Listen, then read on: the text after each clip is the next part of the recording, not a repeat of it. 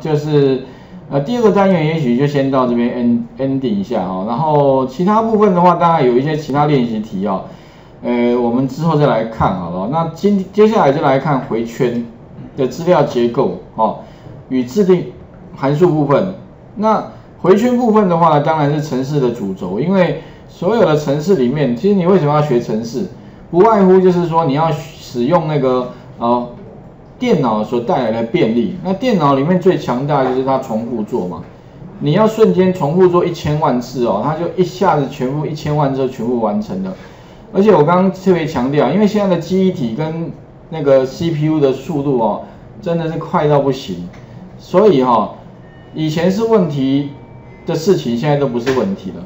那刚好搭上那个像大数据分析跟 AI 人工智慧这个顺风车，那越快的电脑效能刚好就符合应用，只是说这个背后硬体跟呃应用中间哈会需要软体，就是城市设计部分。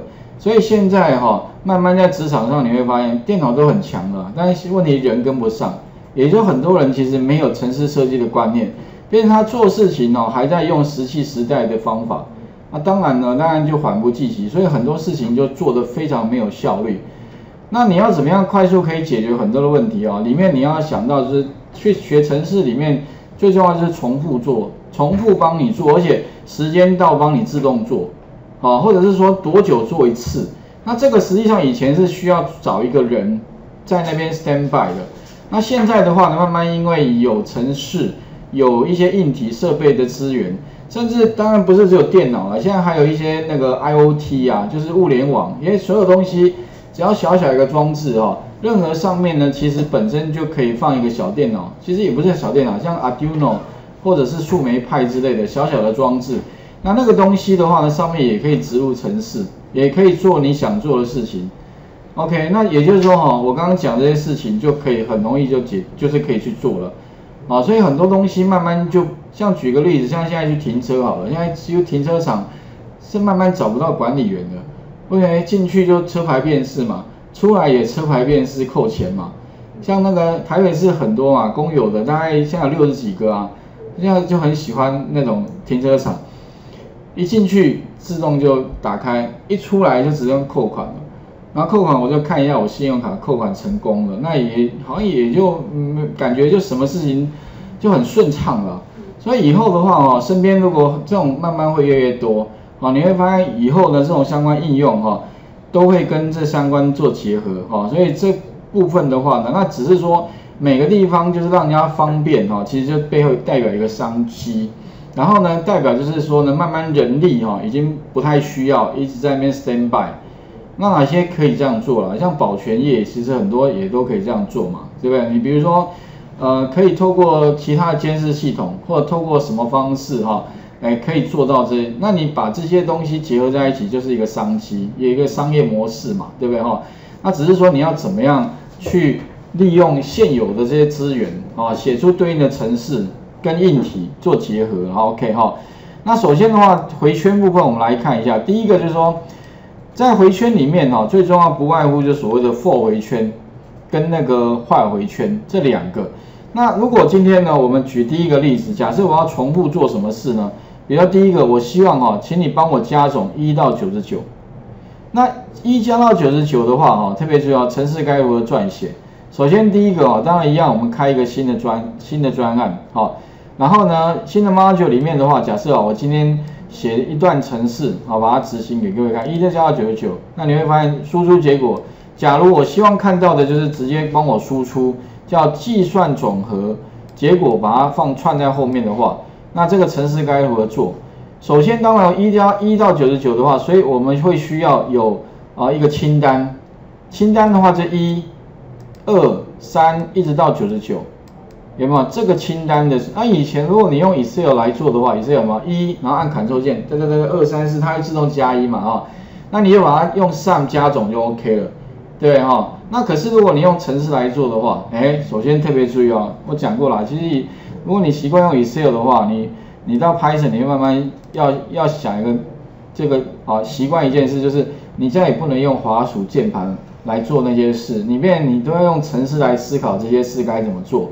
所以你必须要对那个程式的语法很熟悉，OK 哈，也就是慢慢进化了。啊，当然这也没有办法，以后的话很多事情都是要这样做的。也就是你要跟一些啊装置沟通的话，你就是只能用程式去跟他沟通，OK。然后你要教他做什么，他就会你把固定的程式输出给他，他就帮你做出那些事情了。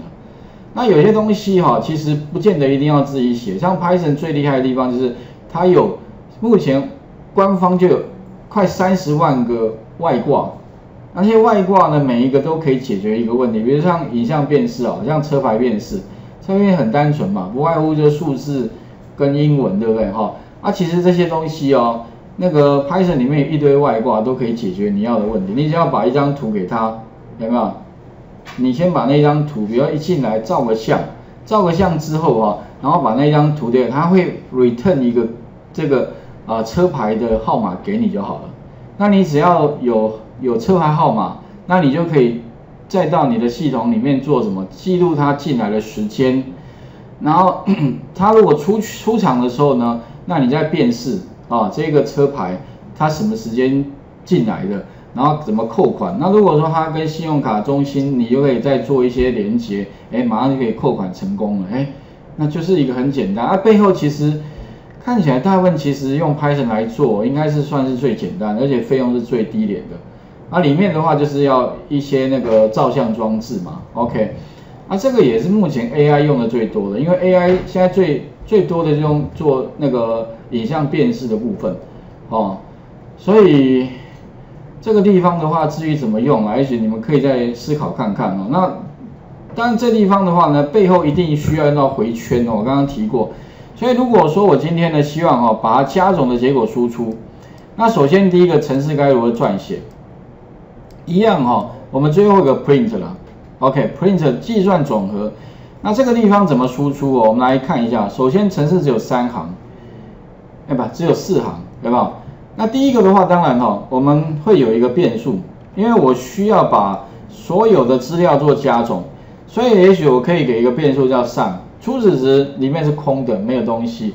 那这样来的话，我就产生一个清单。哎，那清单的话呢，特别注意哦，有一个函数叫 range range 哈，这个，range 的话，其实这个在那个 VBA 里面是 range 物件，在这边的话是一个 range 的什么？range 的是一个函数。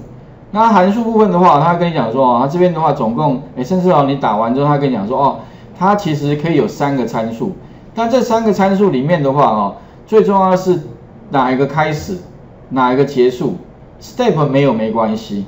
好，那我们如果说呢，假设哦，我今天那个我的清单是要从啊多少一开始，那你就从一开始逗点，再来第二个参数是 stop，stop 的话就停下来哦。所以哦，从一开始，啊，它记得它预设的 step 哈间隔是一哦，所以下一个是二，下一个是三。那到哪个停停下来？如果你九十九的话哦，特别注意哦，它这个清单哈就会帮你产生一到九十八，也就是说到九十九就停掉了。所以哦，如果你要产生九十九的话，那应该输多少？输一百。那后面当然你逗点一啦，不过逗点一是预设值，step 意思。所以如果哦已经是怎么讲？间隔词就是一的话，那你可以不用加了，加的话等于多加了。OK 哈，所以特别注意哦，不用加好。那也就是第一个，我们产生一到九十九的清单了。接下来的话呢，我希望怎么样，把它一个一个取出来，然后做累加。哎，那怎么样一个一个取出来做累加？特别是哦，你可以用 for 回圈，所以在 range 前面哦，你可以加一个 for。那你要取它取资料出来的话，你可以怎么样？给它一个变数，一般习惯用 i 啦，for i in range。这什么意思呢？就是帮我把这个清单一到九十九的清单哈，一个一个的帮我取出来。所以这个 for 回圈是主要是什么？它会先把一取到 i 里面去，所以 i 就是一，然后下一个的话 i 就变二，一直到九十九。哎，所以哦，后面请你加一个冒号。冒号是要做什么？所以你 enter 的话，啊，下一行就是，哎，如果我把那个呃 i 里面放一之后，那你要做什么？哦，我要把它累加起来，那累加怎么写啊？特别要累加的话，就 sum 等于 sum 自己本身再加上 i 就可以了。意思就是说哈，我后面先计算完，把它存到前面。所以哦，sum 预设值等于零，零加上一的时候，那加完变一嘛哈，零加一变一，然后把它存在 sum，所以 sum 变里面就变一的盖过去，因为 sum 是一个变数。然后再来的话，下一个 sum 如果一的话，那 i 又等于二，那一再加二，然后存回去上面就变三了，那以此类推，所以一直一直一直到那个九十九，所以 i 等于九十九，再跟前面的所有一到九十九十八的数字全部在累加，那就是一到呃一到九十九的加总啊。最后的话呢，我们可以怎么样？再把那个最后的结果 print 出来，哎，特别注意哦。不过请特别注意哈。这个地方如果 enter 的话哈，你写 print 记得不要不能写在这里哦。如果你写在这里会怎么样？print 啊，print 什么啊冒双引号嘛计算总和冒号啊这个等于什么了？等于那个的结果，那个结果什么？就这个这个 sum 嘛，所以把 sum 再串在后面，所以再加上什么？啊记得哦，你不能直接加一个 sum 哦，因为它是一个数字。所以你要跟文字串接的话，怎么样？把它转型，有没有？str 有没有？转型之后的话，再串接。那特别注意哈，如果我写完之后哦，请各位注意一下哦，缩排。这个缩排也是 Python 程式的一部分哦。如果你把这个缩排哈，加跟不加有什么不一样的地方呢？知道吗？看得出来吗？执行有什么不一样？哎，对，哦，缩排如果没有加的话，呃，有加的话呢，你我把它执行给各位看一下啊，执行有没有发现？它会在这个 for 里面呢，也就是说哈，它会先怎么样？只每跑一次之后嘛，它就把 sum 给输出了，做一次，对，再做一次，然后再做一次，再做一次，有没有？但是如果你今天呢，把这个 print 哦放到前面的话，哦，就是不要放在 for 里面哦，这个是不是放 for 回圈里面的话，那如果你执行的话，就只会跑最后一次。OK，这很重要。我发现当然呢，这个看起来应该没什么，但是问题哦，还是有同学做错。老师如果加 next，这边不能用 next，那个因为没有这个语法，因为那个是 VBA 的语法啊，规则不同。那只是 VBA 里面没有冒号了，有没有？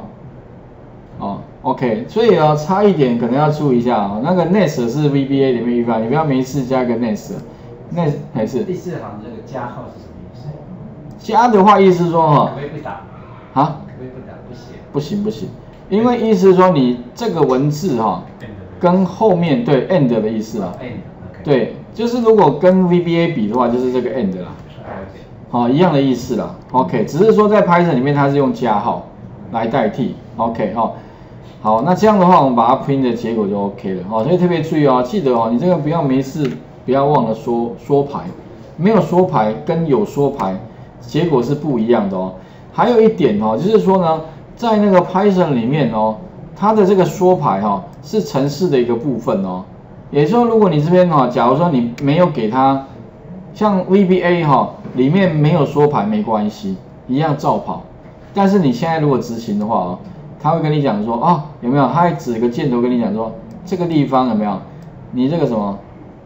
这个 i definition l 就是说你这个的位置了哈，有没有？如果你以后看到这个讯息，比方说这个地方一定要缩排，他会跟你讲说没有一个一个 block 啦，就是一个这个这个 block 一定要有了。OK 哈，也就是说呢，这个地方是城市的一部分，没有这个地方不行的。那如果你们有学过 Java 的话啦，Java 里面是大刮胡啦，OK，那也就是说它以前那个大刮胡哈，它把它用那个类类似这种 tab 来做取代了，OK，所以请各位先试一下，如果我要一加到九十九的话，那程式该如何撰写啊？总共三行啊不，总共四行啊。那这个做完之后的话哈，也可以想想看。如果我今天要个别哈，把那个奇数跟偶数分别的做这个累加，然后输出，那该怎么做？我因为我刚刚有讲过嘛，在 range 后面哦有一个参数，对 step。如果你 step 啊，假如说有跟没有啊，当然就是如果你今天是奇数偶数，那当然就是间隔的问题，间隔二间隔呃间隔一预设是一啦，那如果间隔二的话，那你就可以把所有的奇数，比如说我希望把一加到九十九的奇数啊输做输出，跟一加到九十九的偶数做输出的话，哎，那这个地方程式该如何改写哈？